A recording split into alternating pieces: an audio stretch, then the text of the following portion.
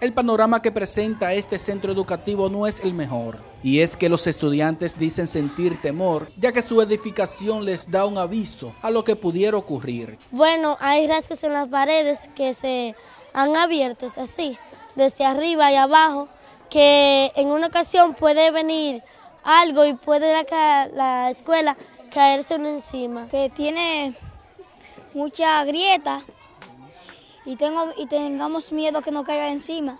Y para que arreglen eh, los cursos que faltan, para que manden el agua, porque en los baños no, no hay agua. Los profesores cuentan que a pesar de las evaluaciones a las que ha sido sometida la escuela, hasta el momento carecen de una respuesta satisfactoria. Que puede colapsar la eh, parte, lo, la, principalmente el aula de aquí atrás. También otro problema también tenemos con los baños, que tampoco no, no están en buenas condiciones. 147 estudiantes de Canca abajo corren el riesgo de quedarse sin el único centro educativo con que cuentan si las autoridades no hacen caso a su llamado. Todas las aulas, la mayoría de las aulas están agrietadas y todo, todo eso lo, están en manos de las autoridades de educación y todavía no nos han dado una respuesta, nos dicen siempre que están que eso viene pronto y que está en proceso.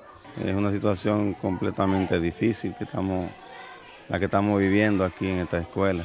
Igual situación viven los estudiantes del Liceo Víctor Manuel Espaillat, el cual en la actualidad reciben docencia en el bajo techo de su barriada, debido a que su plantel educativo se encuentra a punto de colapsar. En Santiago, Junior Marte Noticias SIN.